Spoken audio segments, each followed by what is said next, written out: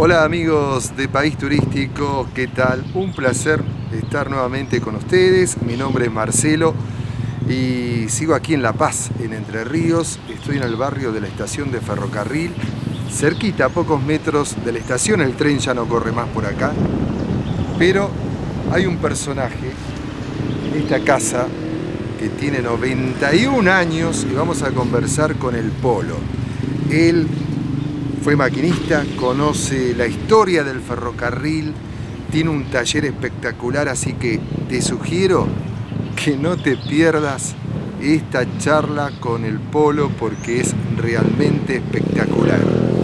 Y como siempre te pido, bueno, suscríbete a nuestro canal, dale un toque a la campanita, fíjate que son tres, dale a la que dice todas, déjame un comentario, te quiero conocer, quiero saber de dónde estás viendo este canal. Y ahora, ahora vamos a conocer un poco la historia del ferrocarril aquí en La Paz, Entre Ríos. Esta es la avenida Córdoba. Ajá, de la, de la salida de la ciudad. Ah, por acá salís.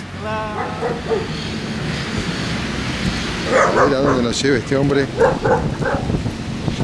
Vamos con los perros caminando. Es de loco esto. Esto tiene las cosas del pueblo, ¿ves? Vamos a golpearle la puerta a alguien que él dice que sabe porque trabajó años en la estación y un hombre de ochenta y pico de... Ah, Veo, Ahí le va a mostrar, tiene una... Ah, locomotora allá también. tiene... eh, Sí, sí, sí, sí. Eso lo hace él. Así que manejaba la locomotora el hombre. No recuerdo bien el- la apellido. Y pero por ahí esta hora de la siesta. Capaz que, capaz que almorzó y, 74, 75 y años. se acostó a dormir, ¿eh? Pero es un amante de los trenes por lo que veo. Porque tiene acá una vía, un Sí, tramito. Tiene una locomotora allá adentro. Está varios años lo está haciendo. Qué bárbaro.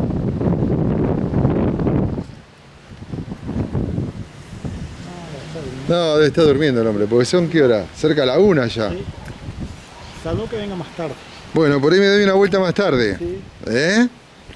sí lo va a atender si él es, es amante de eso. Claro, porque es el, el- el- el que sabe. Es el que sabe. ¿Qué lo tiró? Bueno, seguramente alguno que esté viendo el video, porque estoy enfocando ahí la casa, Se van a, van a seguro que alguno lo conoce. Sí, que no lo van a conocer. Eh, Es, de acá. claro, por eso. No, seguramente está durmiendo. No, debe estar durmiendo, sí. Está todo cerrado. Y el auto de él está ahí. Claro. Ahí la voy a, la voy a ver esta, Ajá. a esta gente. Ese hace años que está acá, ella de saber bien. Claro, claro, claro. Sí, debe conocer la historia. ¿eh? Yo, yo hace poco que estoy acá en la ciudad, no, no hace, va, va a ser 30 años, ¿no? Pero la historia ya viene de mucho antes. Sí, sí, aparte de una ciudad. de- 50 años atrás ya eso. Claro, claro, claro. Imagínese el año 69. Ese no funciona más. Del 69. Claro, ahí dicen que el... De, claro, el del 69 hasta ahí, hasta ahí funcionó. Funcionó, claro. Mercopagro. Eh, Ahí vamos a preguntarle. A ver. Este hombre gentilmente. Buenas. Ah, está ocupado. No, un señor ¿Cómo que- le va? ¿Cómo anda usted? Bien, gracias. Uy, ¿quién me viene a filmar? No, No, no, a está- lo mejor sabe más o menos la historia usted acá. Acá fue, no, yo, ¿sabe lo que? ¿Cómo es su nombre? Carolina Lietz. ¿Qué tal? Marcelo, el mío. Eh, quería hacer- conocer un poco la historia de la estación y fuimos a buscar un hombre acá, A don un- A don Santini. Santini. a don Santini, que fue, eh, me decían que fue ferroviario, ¿no? Él fue ferroviario, Claro. él era mm, maquinista. Maquinista. Sí, y. ah, ¿Cómo más? Uy, qué feo. eh. No importa, no él, él era importa. maquinista, No bueno, importa. él es el que más sabe, ¿no? Está bien. En realidad, yo lo que sé es porque me han contado. Lógico. Eh, ¿Usted, ¿Usted es paseña? Yo soy, sí, paseña, bueno, nací en el campo. Está muy bien. Dice que cuando yo tenía dos años, mi Sí. abuelo me llevaba a ver la- el tren que pasaba eh, una vez por día ya cuando empezó el, ter- el tren a dejar de funcionar Claro. en el campo. Eh, después, en el año 82, eh, mi papá y dos tíos míos compraron esto, que Ferrocarril ya lo había vendido Ah. a una sociedad, esa sociedad se achicó y compraron mis pa- mi padre y mis tíos el edificio con el terreno, que es de donde yo vine a, ya a vivir acá en el secundario. Así que de, chi- el- de chiquita veía pasar el tren y ahora está acá. Sí, ahora estoy ¿Y ac- acá. acá funcionó la estación? Acá era la estación de ferrocarril. Ah, De- claro. Qué historia esa, Sí. ¿eh? Dio vueltas, ¿eh? Eh, bueno, ferrocarril dejó de funcionar en el 72. Ah, 69 em, ya era lo de, lo de pasajeros, ya no funcionaba el 69. Hasta el 72 funcionó Claro. de carga, con uno o dos vagones, nada más. ¿Y las vías no están tampoco? Las vías no están desde Claro. ya todo ese tiempo. De ya ese- desde ese tiempo, ¿no? Sí, sí, sí, levantó Y- todo. Ferrocarril levantó todo. ¿eh? Claro, ¿y qué tren pasaba por acá? ¿Qué, ¿Por qué? Por, la- por la otra zona, digamos, del otro lado, sobre el Uruguay, pasaba el Gran Capitán, ese tren famoso que Eh, hubo, ¿no? Sí, yo el nombre de acá no lo sé. Está bien. Este, acá era la última estación. Eh, el tren salía de, maña- de mañana Mm, y se iba de acá a Feliciano, San Jaime la Frontera. De San Jaime la Frontera había que empalmar otro tren para llegar a Paraná. En esa Ah, época no había directo a Paraná ni había... qué historia, qué linda historia. Este, ¿Y usted con el, con el, con el mercado? yo Ahora. sí seguí con el negocio de mi papá. Ah, esto era de su padre. Sí, sí, sí. Muy Bueno, bien. Cuando ellos fallecieron quedé yo. Qué lindo, ¿no? Eh, trato de mantener la fachada. La fachada. tal Porque cual la es. estación miraba... eh, Este es, esta es eh, la parte de atrás, ¿sería de la estación? Esto es la parte del frente de la estación, Ah, del donde frente. entraba la, la gente a. Y el tren a pasar. pasaba por allá. Y la- el tren pasaba de aquel lado de Ah. Chaparet, es- ahí pasaba el tren. Ah, está Sí, sí, bien. sí. Ah, bueno, Bueno. eso es la historia de, Lo voy a hacer. del- del negocio mío. Está ahí en la pared. no era Mercopagro, ¿por qué? Porque era una sociedad de 33 socios, gente del campo, que se... Así la inició de tu papá. Ya antes. Antes venía. Sí, empezó con el nombre de, de Feria Franca Sí. porque traía, todos los colonos traían y que funcionaba ahí en el taller municipal ahora, Sí. galpones de ferrocarril, eh, este, traían todos sus productos, ya sea Mm. leche, crema, todo lo que se producía en el campo y se vendía. De ahí, esa Feria Franca se mudó a Angelo Paolo, ex Angelo Paolo, que eran galpones de ferrocarril Mm. se mudaron allá con eso y pasaron con el nombre de Merca- Mercopagro. Mercado Mercopagro. concent- Mercopagro. Mercado, Mercado. Concentración Productos Agrarios. Claro, no es un nombre caprichoso, está muy bien. Sí, Entonces de allá esa sociedad compra Sí. el edificio acá. ¿Por Claro. qué? Porque se venía la fábrica de Angelo Paolo allá y acá eh, salió a la venta, compra a la nación. Sí, sí. Eh, Y funcionó unos poquitos años, dos, tres años. Después, en el año 82, esa sociedad se achica. Quedan parte de socios que eran mi papá y un tío mío y una tía compran el edificio. Qué historia. Siguió Mercopagro por la trayectoria Está muy bien. y bueno, fallecieron mi padre y mi tío y quedé yo Al frente. al frente. Llevo 25 años de estar aquí adentro. lo tiró. Sí, lo tiró. Pero Bueno. es la, la estación, es la estación de- del ferrocarril. Bueno, bueno. Gracias. Muchas gracias, muy amable. Un placer, ¿eh? Gracias, Eh, eh, igualmente. País Turístico se llama el canal de YouTube, País Turístico. Ah, bueno. uy. Así que si se suscribe ahí, eh, nos da la campanita y bueno, cuando subamos este video, porque lo vamos a subir, Bueno, gracias. ahí eh. se va a poder ver. Bueno, Muchas gracias, muy amable. Que pase lindo. A ustedes, Y muy amable, gracias. El día. Gracias, muy Muy amable. bien, gracias. ¿Cómo le va? Buen día. ¿Cómo es su nombre? Alberto René Santini, Santini, ¿se lo conoce como? Polo Santini. El Polo Santini. Bueno, ¿me permite? Pase. Bueno, permiso. Estamos acá. Nosotros tenemos un canal y estábamos hablando acá con la gente, con la chica que tiene el mercado, Ah, sí. acá en la estación de ferrocarril, que ahí funcionó la estación en realidad. Ahí sí, ahí atracaban los trenes de pasajeros. Está muy bien. Y, y usted tiene una historia muy particular con el tren de muchos años, ¿no? Sí, ¿Usted que fue maquinista? era maquinista, conductor de locomotora a vapor Sí. y diésel eléctrica también. de las dos unidades.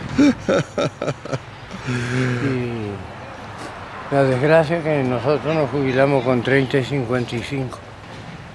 Con 30, años de servicio, aporte sí, y 55, años de edad. De edad, muy jóvenes. Y sí, pero es trabajo insalubre.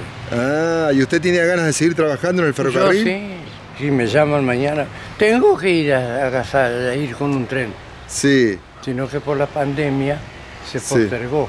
sí. Tengo que ir a Villa Lynch, Villa Lynch. sí, está cerca Federico Lacroze. Ah, está bien, está bien, está bien, está bien. Villa Lynch corren un tren, sino que el maquinista que andaba con ese tren a vapor se murió. Ah, Y se corre un tren con turistas alemanes a ah. Villaguay Central, Entre Ríos. ¿Está corriendo en este momento ese No, tren? no. Ah, Por la pandemia no se corre. pero sí, pero sí corría. Sí, corría. Ah. Y lo tengo que llevar yo ahora. Está bien. ¿Y esto qué es? Una zorra bomba que usaba la cuadrilla. ¿Y esto es una réplica que hizo usted? Sí. Y ese es el tender de la locomotora que tengo en el galpón. El Tender. tender, tender. Acá va el agua y el combustible. Ah, acaba el agua y el combustible que Y se... esto va enganchado en la máquina, no se lo saca nunca. Ah, esto va enganchado en la máquina. Claro. Claro. Y este está montado sobre el rodillo. Ah, sí, sí, sí, sí, sí, sí. ¿Y esto lo armó todo usted? Todo lo hice entero, desde abajo por arriba. Qué No hay nada comprado hecho Es acá un porque- fanático usted de los trenes. Toda la vida en el ferrocarril. A los 10 años yo andaba arriba de la máquina cada vez que hacían maniobras. Mi padre era capataz de vía y obra. Claro. Y es que toda la familia hemos sido ferroviarios. Claro. Mis tíos también eran maquinistas, Claro. capataz de vía y obra, jefe de estación, Sí, sí, sí, sí, sí, sí. todo, toda la vida. ¿Y qué siente que, bueno, con este, con esta eh, de- desaparición de- del tren que ¿Sabe lamenta- lo que siento? Que desgraciadamente el argentino es un país de coimeros y ladrones. Claro. Sí, así lo resume. Así lo resumo, muy fácil. Claro. Nosotros teníamos una red hermosa de Sí, ferrocarril. sí, sí. Yo a mí me gusta caminar eh, y conocer algunas estaciones que están la mayoría lógicamente abandonadas y esos pueblos quedados en el tiempo. Si Hasta la vía levantaron. A- acá está la vía. Sí. ¿Y acá en qué época dejó de pasar el tren? 68. 68. ¿Y qué tren pasaba por acá? ¿Qué conectaba? No, acá llegaba, era terminal acá, Ah, estación terminal. sí. Acá llegaban trenes de pasajeros y carga. ¿Pero de dónde venían? El pasajero salía de acá a San Jaime, al Ah, empalme. sí, Hay 150 kilómetros. sí, Y volvía a la tarde. a la tarde. Y los cargueros también. ¿Y ahí en San Jaime con qué otro? y ¿Después intercomunicaba con otro? Sí, con los trenes que venían de Curuzucuatía, Claro, Montecasero sí. y trenes también que iban... de- ¿El gran capitán pasó sobre aquel lado de Entre Ríos, sobre el lado del Uruguay solamente? No, no, el gran capitán salía de Federico Lacroce con destino a Corriente Capital. Ah, de la Croce con destino a Corrientes Capital. Y otro salía de Lacroce con, con destino a Posadas. Ah, Misiones. Posadas. Claro, claro, claro, claro. Eran dos trenes. Está bien, está bien. Y yo anduve en los dos. ¿Y usted anduvo en los dos? ¿Qué? ¿En el Gran Capitán también anduvo? Estuve, también anduve. Uh, qué lujo que se dio. Sí. ¿Y ese que lo manejó usted? ¿Sí? Ah, Con máquina a vapor. Con máquina a vapor, claro. Qué bárbaro, qué bárbaro. ¿Me muestra un poquito? Sí, y ¿Qué ahora tiene? mismo me están esperando para llevar ese tren de, de Villa Lynch con los alemanes. Con los alemanes. Ajá. Le dije que sí, que iba a ir. Eh, eh, cuando usted dice los alemanes, ¿es un pueblito que está acá cerca de María Grande, por ahí? No, no, no. Ah, ¿no? Son alemanes, alemanes que pagan el viaje. Ah, alemanes que pagan el viaje, no es una colonia de alemanes No, de acá. no, no, Porque acá hay, aco- hay Sí, colonia de alemanes. Sí, pero no, no son estos, vienen de Alemania. Ah. Y aparte, este, me preguntaron que cuánto les iba a cobrar. Yo Ah, le dije que yo no cobraba, pero yo los llevaba, los traía el tiempo que sea necesario. para usted un placer. Sí, y, y después me llevan a mi casa. Y una, una, una locomotora de las que usted manejó, ¿sí? En esa época. La última que manejó, ¿en qué año fue? Cuando se clausura acá el 68, Bueno, ¿qué diferencia tiene esa locomotora a la locomotora que está corriendo hoy, por ejemplo? iguales son. Todas El iguales. sistema de vapor es el mismo. Son todas igual, igual. Una más moderna que otra. Y, ¿Pero las locomotoras son a vapor todavía?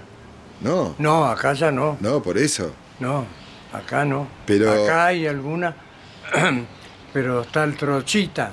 Ah, el trochita. Ese es 0,75 la trocha. Sí. Por eso se lo conservo. ¿Usted Porque dice es cuál? ¿El único- Esquel? Eh, sí, Sí. es único en el mundo esa. Claro, claro, claro, Entonces claro. no se la quiere destrozar. Sí, sí, sí, sí, sí, sí, está bien. Y acá se rompe todo lo que está hecho. Sí, sí. Tenemos esa facilidad nosotros. Sí, esa facilidad. La historia, la historia la vamos destruyendo. Sí, Lo histórico no queda. Permiso, Polo. Ya estamos en la casa de Polo. Fanático de los trenes. Acá medio Maquinista pobre, acá, hay un... ¿Cómo le va? ¿Su nombre?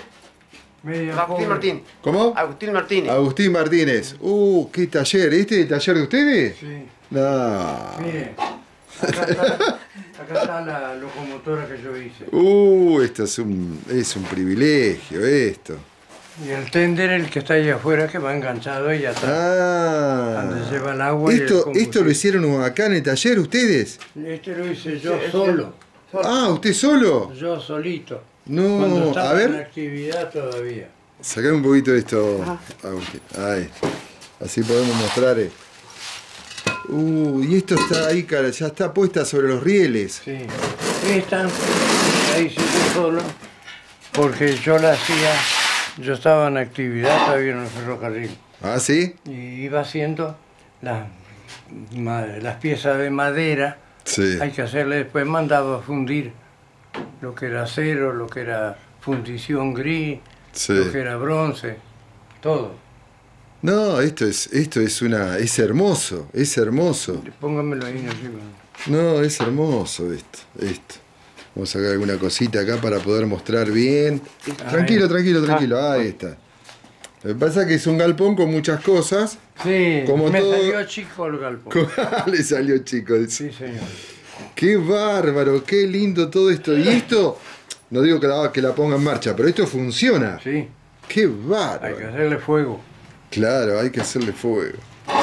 Y esto es tal cual, tal cual, una locomotora. Sí, mire, Y usted, eh, discúlpeme, Polo, esta locomotora eh, está representada en una de las locomotoras que usted manejó. Claro, es la copia de una de las dos que había acá. Claro, Ah, Que era la 207, 208. los claro, números claro, claro, claro, claro. Y esa máquina Sí. la pusieron en servicio acá en Argentina en el año 1910. ¿Qué lo tiró? En el Vinieron cero kilómetros de Norteamérica. Son norteamericanas. son. ¿Mm? Claro, claro. Y esta la hice yo sin plano, sin nada. Así nomás. ¿Y sa- De- ¿Sabes de- lo que eh, pasa? lo tenía acá en la cabeza el plano. Sí. Porque cuando se va a rendir a la dirección de ferrocarriles a Sí. Buenos Aires para ser Sí. maquinista, allá uno no sabe lo que le van a preguntar. Allá lo agarran tres ingenieros mecánicos Claro, en el examen. claro. Es oral, Es oral. sí señor. Y, y ahí le empiezan a preguntar esto, el otro, el otro, el otro. ¿Por qué no se hace con esto? ¿Por qué ese material se usa otro material? Y, y así. Y uno tiene que saber todo, Claro. si claro, no, para poder aprobar. Claro, claro. Claro. Sí, sí, sí, sí, sí, sí, lógico. Y la ISL eléctrica también. Pero las ISL ya para mí fueron más fácil, Sí, ¿no? ¿sí? Más fácil porque acá enfrente antes había un taller de un señor Arlotti, ¿Mm? que ya es fallecido, y yo me crié ahí con los hijos de ellos, eh, los hijos de ellos eran menores, Claro, claro. yo era el más grande. Sí, sí, Pero ahí sí. desarmaban motores de cualquier clase y armaban. Claro. Y yo también andaba ayudando, Está muy bien, está muy bien, está muy bien. engrasado hasta en la cabeza. y así se aprendía. Sí, se aprende. Y claro. ¿Y qué te parece la charla con este personaje aquí en La Paz, en Entre Ríos? Deliciosa realmente, me encanta escucharlo, tiene 91 años, eh, conoce la historia del ferrocarril, eh, tiene una cabeza lúcida, es brillante, es creativo. Bueno, vamos a seguir ya, un momento, pero antes, como siempre, te pido que te suscribas a nuestro canal, dale un toque a la campanita, fíjate que son tres y déjame un comentario porque quiero saber de dónde estás viendo este canal. Y los perros, los perros siguen ladrando aquí en el barrio eh, cerquita de la estación, aquí en La Paz, Entre Ríos. Esta, esta es la cabina, Polo. Sí, acá. Claro. Mire esta chapa que hay acá, Sí. a ver si la puede leer. No, no leo nada yo, Polo. ¿No? Con anteojo. Nada más. ¿Y esta chapa, usted recuerda lo que dice? ¿Más o menos no? Sí. Sí, dígame, a ver. Ahí dice Dirección General de Ferrocarriles. Sí, Está el número de la máquina, sí, está la presión hidráulica sí. que hay que hacerle a la caldera, Ah, está todo. está todo. Porque si no tiene esa chapa, Sí, ahora la vamos a grabar igualmente, el sí. maquinista no sale. Si no está esa chapa, esa la, es la... es- Esa es la vida del personal de máquina. Ahí le está Ah, indicando todo lo que, que se- a ver, está bien, la vamos a enfocar. Ahí está. Sí, sí, no hace falta. ¿No? No, no, no. No. Acá estoy viendo. Si yo soy más secatón que todo. Se trajo la portátil. Mira, yo estoy, estoy operado de la vista. Sí. Desgraciadamente tengo poca visión. ¿Cuántos años tiene usted, Polo? 91. Ah, la pucha, pero se conserva bien. Hasta ahora sí. Eh, ahí está, ahí está, ahí está. Ahí, ahí con la, con la, Con la luz. eh, con la luz. Qué bárbaro. Claro, ahí se ve mejor, sí. Está toda, toda la, toda la información ahí, Sí. ¿eh? Toda la información. Por eso, si un maquinista va a tomar servicio, Sí. no tiene esa chapa, no sale con el tren. No sale, ¿no? No, no. Hasta que no aparezca la chapa, no sale. Porque ese es el, eh, digamos, la, la- la guía, todo como tiene que hacerla para que... La guía, porque ahí está toda la presión hidráulica, caldera, Está todo ahí, claro. la presión de vapor. Está todo. Está sí, todo sí, sí, sí. Y cuando usted manejaba, por ejemplo, esas máquinas, ¿cuántos vagones llevaban esas máquinas en su momento? Y esas máquinas que eran chicas y se llevaban 30, 40 vagones 30, cargados. 40. ¿Y esos vagones eran de carga o de pasajeros? No, carga. Y Todo carga. pasajero aparte. ¿Y pasajeros cuántos llevarían? ¿Cuántos vagones? No, el pasajero llevaba el furgón postal, Sí, después llevaba este, un coche de segunda clase, sí. otro de primera, y cuando se corría de La Paz a Curuzucuatiá, Mm. llevaba coche comedor también. Iba a la Ah, cola del tren. a la cola del comedor. Sí, Claro. comedor. Y, eso, y esos coches, esos vagones de carga, ¿no? Eh, y eran, eh, llevaban mucho, mucho peso realmente, ¿no? Y 30 toneladas cada vagón. Claro, es mucho. Es mucho. Sí. Y ahora cuánto mejor sería eso, ¿no? Hay algunos transportes de carga. El Urquiza creo que está corriendo. Sí, hay. El Belgrano Sí, también. el Belgrano. Eh, Y como es acá de Baza a Bilbaso a Villaguay Central, Entre Ríos, sí. este, está corriendo un tren de pasajeros con locomotora diésel. Ah, sí. Sí, Ah, está bien, está bien, está bien, está bien, está bien. ¿Y ahora, ¿Y ahora están haciendo algún trabajo en especial no? Y cosas que van apareciendo en mi taller. Está bien. Antes. Pero cosas relacionadas con los trenes, no, o con No, otras con cosas. vapor. ¿Con vapor? ¿No ves? ¿Eso qué sería? A ver, baje Sí. un poquito, un poquito la luz, bájela. Ahí está, para que se vea bien. Este Sí. ¿Esto qué sería? es una ¿Tengo caldera. ¿eh? Esta la hice yo. Sí. Pero Eso me falta que ando buscando otras dos piezas más Sí. que, que le mandaba vapor yo para que me se muevan. Ah. ¿Y eso para aplicarlo dónde, Polo? ¿O solamente una prueba que está haciendo? No, esto se aplicaba, por ejemplo, a ver esto. Ese que tiene la paleta. Ah, esta es la que tiene el volante. Ah. ¿Ve? Tiene una toma de fuerza acá. Sí, Le sí. pone una polea plana en forma de V y mueve cualquier otra máquina. Ah. Pero tiene que tener vapor. Sí. Y yo le hago una pregunta. ¿Y usted qué, qué, qué estudios tiene, Polo? ¿Qué estudió? Tengo bachiller. Está bien. Y después las ganas de, de inventar cosas y de crear. Y de estudiar. Y de Por su cuenta, ¿no? Yo tengo bachiller. Sí. Y... ¿Sabe lo que me gustaba a mí siempre? ¿Qué? Me gustó abogacía. ¿Qué? Pero qué cosa rara, porque nada que ver con Y esto. bueno, pero ¿sabe por qué no pude ser abogado? No, dígame, a ver. Porque antes Sí. tenía que concurrir a clase. Ah, Y yo andaba todos los días con el tren. No podía, Claro, no podía. claro. Y después abrieron que no, que se estudie libre y va y rinde a la facultad. Sí, Y bueno, pero ya era tarde para ese. y para ese- ya era medio tarde no claro, ya era grande, digamos, para esa Sí, época. sí, sí. Eh, pero le hubiese gustado ser abogado. Sí, señor. Es decir, eh, que le, le- Para defender gente pobre, no, Para- no, no gente rica. no, no gente rica ni malandra. No, porque yo nunca. Claro, uno como abogado defiende al que tiene ganas de defender. Claro, no como malandra, a mí no me gusta. Claro. El claro. malandraje nunca me gustó. No, no, está bien, Polo, está bien, está bien. Y la verdad que nosotros muy contentos de, de poder conocer acá su taller, hablar con usted. Eh, acá, no me acuerdo el nombre de la chica que tiene el almacén ahí ¿Allí? en, sí, el mercado. El IE.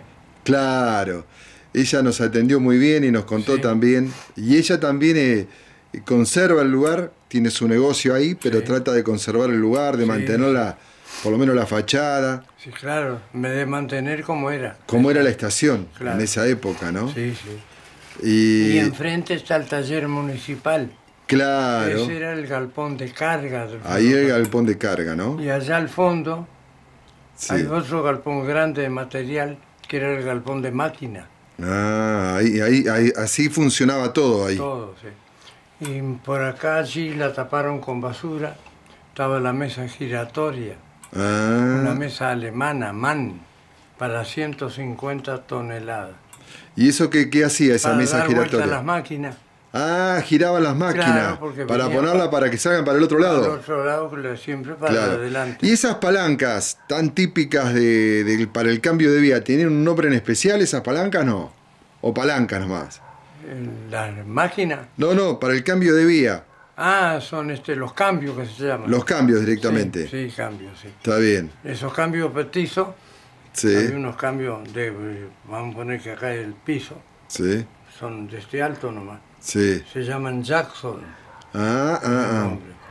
Y los cambios altos, que lleva luz arriba, esos se llaman cambios ramapo. Ramapo. Ajá. Bien. Otra, otra pregunta. El- los ingleses con el ferrocarril, eh, ¿estuvieron hasta qué año? Porque después se lo dejaron a Perón eso, ¿no? Perón se lo expropió. ¿O se lo expropió? Sí, lo expropió. Ah, así fue. pasaron a ser ferrocarriles del Estado argentino. Del Estado argentino. Sí. Esa es la historia, más o Sí, menos la historia, ¿no? Y la vía, cuando la hicieron, la hizo la compañía Hume Hermano. Eran dos ingenieros alemán.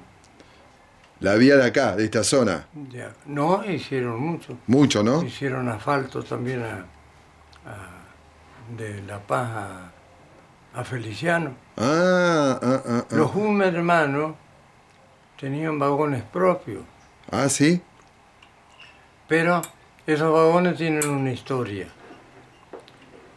En una oportunidad, en, en Olivicuy, se- ahí había ferry.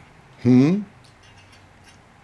y los ferries se cargan cuando es los con vagón, la mano derecha primero, después la izquierda y después el medio para que quede estabilizado. Estabilizado en el agua, claro. Claro. Y llevaba 30 jaulas, 30 o 40 jaulas con vacuno ¿Mm? para pasarlo al otro lado, a Zárate Bajo. ¿Mm? Y lo agarró una tormenta, estaba mal cargado Y lo- inclinó así.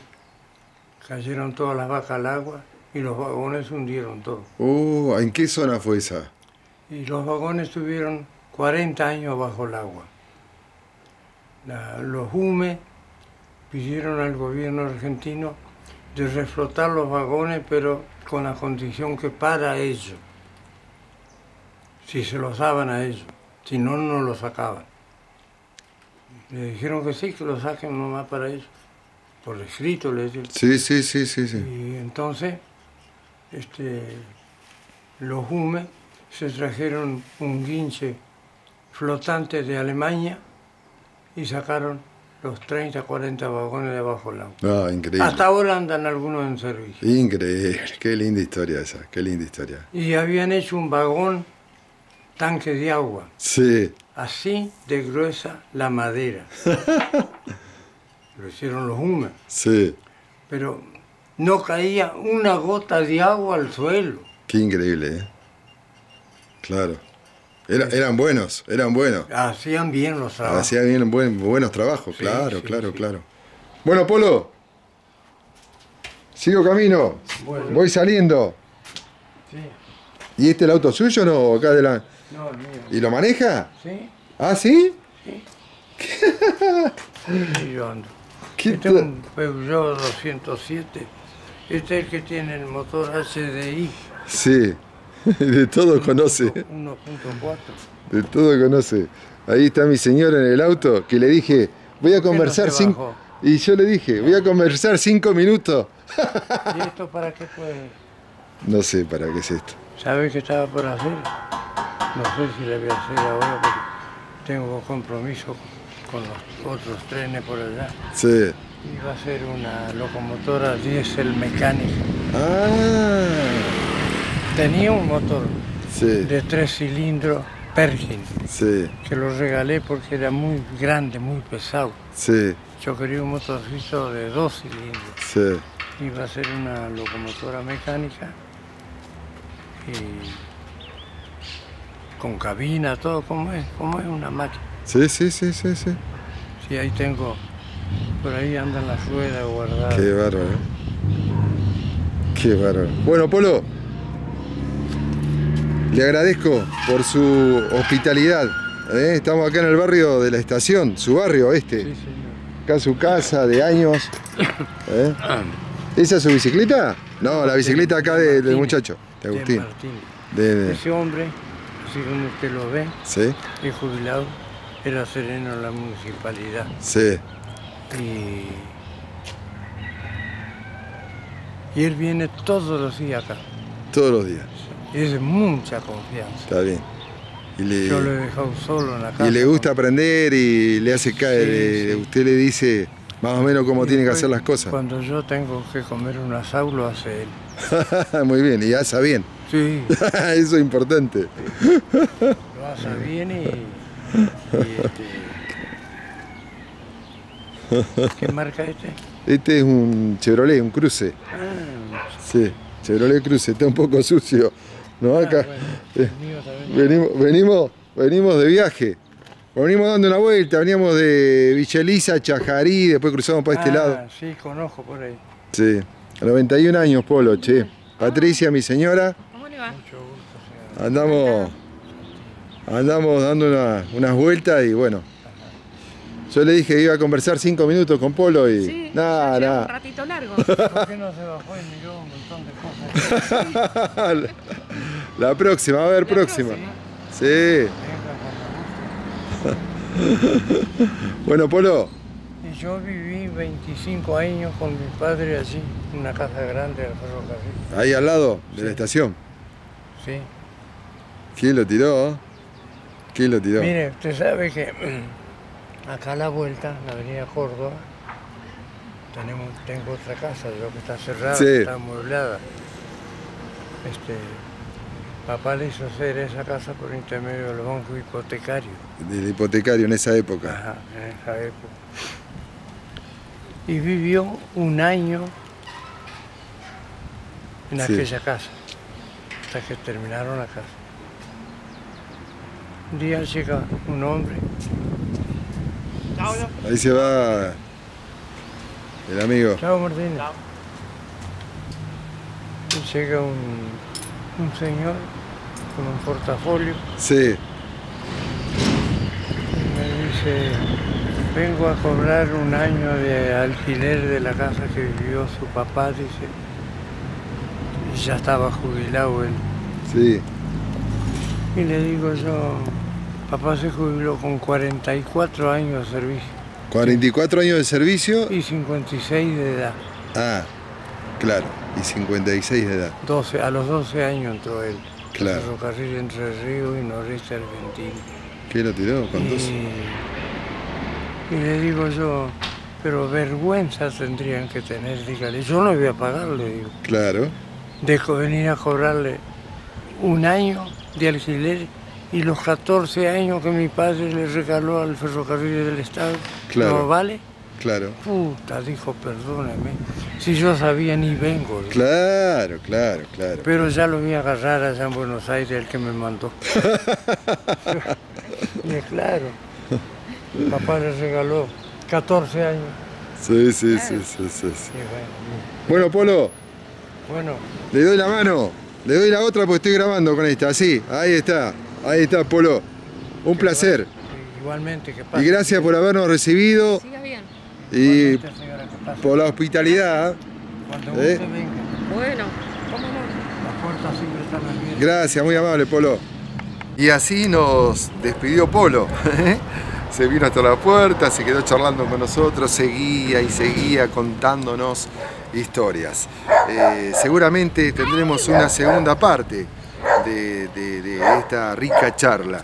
Eh, bueno, te pido sí que te suscribas al, al canal, déjanos un comentario porque te quiero conocer, quiero saber de dónde nos estás viendo. Dale un toque ahí a la campanita, fíjate que son tres, dale a la que dice todas, así estamos comunicados. Y nos vemos en el próximo video.